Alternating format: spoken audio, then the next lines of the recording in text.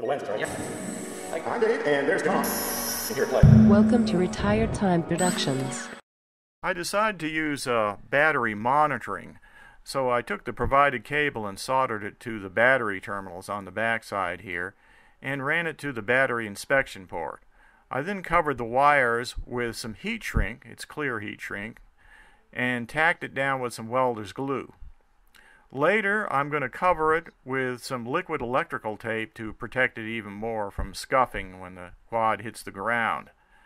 So that's the uh, battery voltage monitoring wire. Now later I'm going to add a beeper. In fact, I think I've already uh, got that prepared and I'll show it to you now. So if we turn the quad over, you can see where I've plugged the beeper in right there. And I'm going to stick that down with some double stick tape too later on.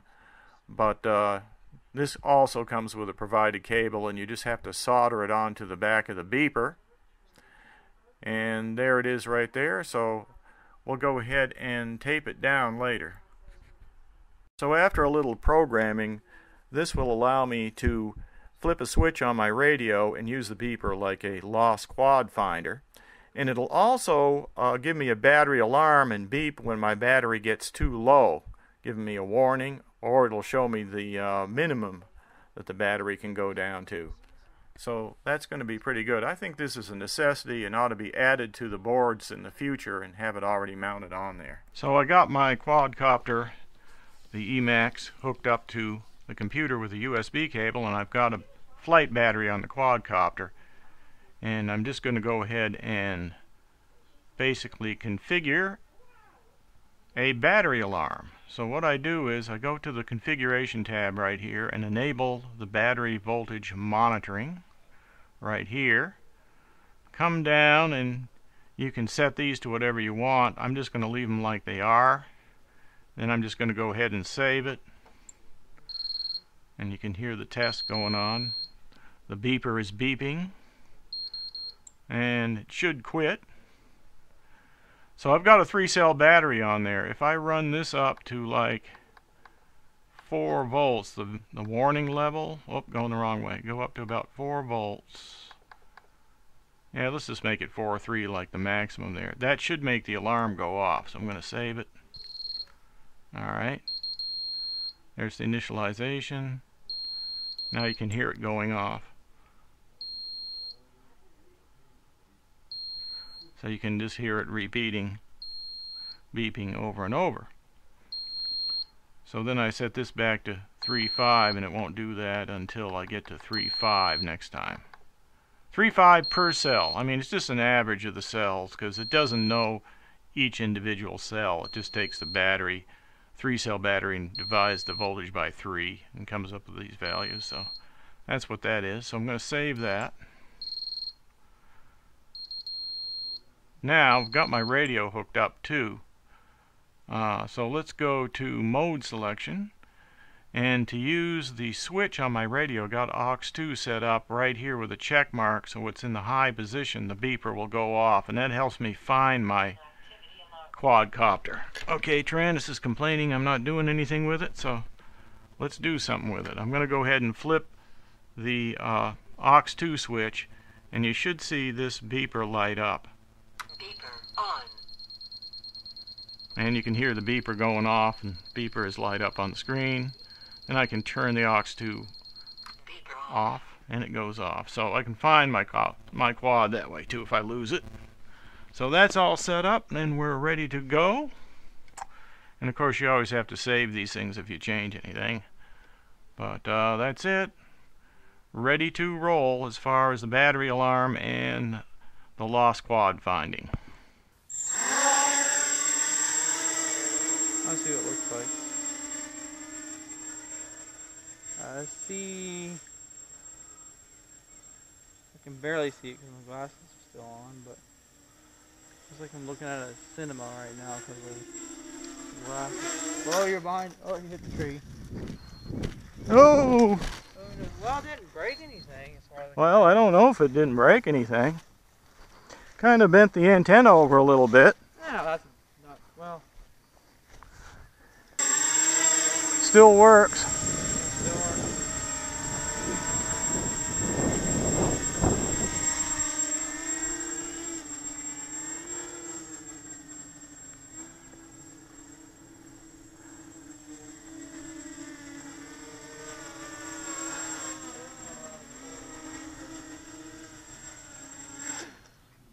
There we go.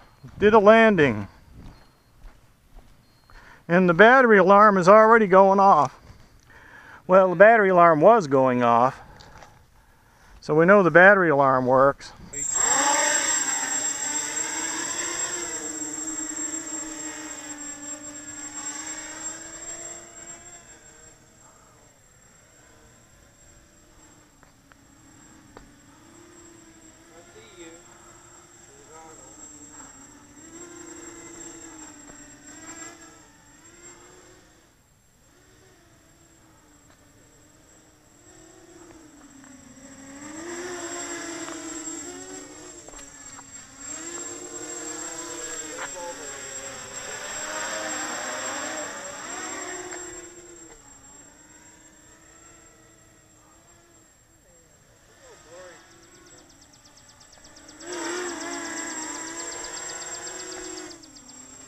Alright.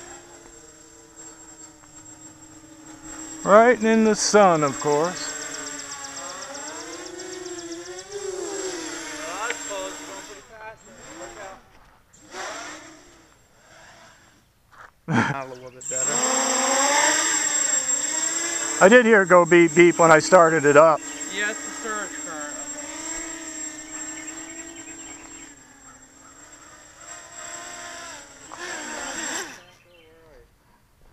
Yeah, it's beeping now. Yeah, I hear it beeping. It's not big enough, you think? Oh, the battery's big enough. It's just that uh, we get a voltage sag, you know, when the uh, when you Ah, start need more C rating. need more C's, I guess. That's what I was thinking.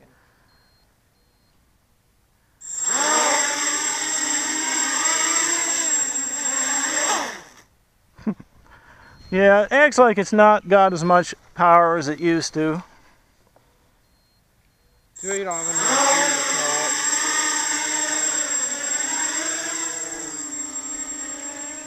you don't have an OC to tell you the actual battery voltage.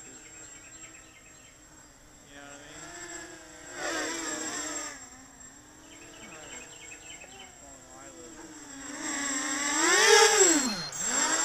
I mean? Oh, look out.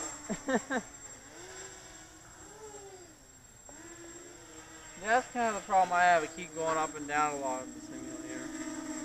All right, I'm just trying to keep it steady as it goes by.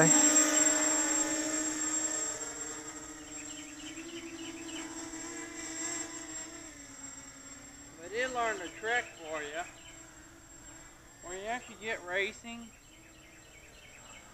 um, when you go to make a turn, you have to move the uh, cyclic stick in the same direction as you're making on the rudder stick. So, uh, in other words, if you're going left, you move the cyclic left a little bit too to counteract the forward motion. Yeah, good idea. Oh, look out! Oh, which way you going? Well, the battery's definitely going off solid now. The battery alarm's working. Oh, it quit there again. I guess it has some voltage sag, but the battery feels a little warm, not too bad. But I guess we better quit, right? Yeah, I think it needs a bigger battery for racing like that. We'll see. Maybe it just needs a 2200 with more C's. yeah, that could work. How many cells does it take? It can take a four cell. This is You a three take cell. four cell. Yeah. You get a. s- Hey, you can put one of those four cell zippies on there. Here, play.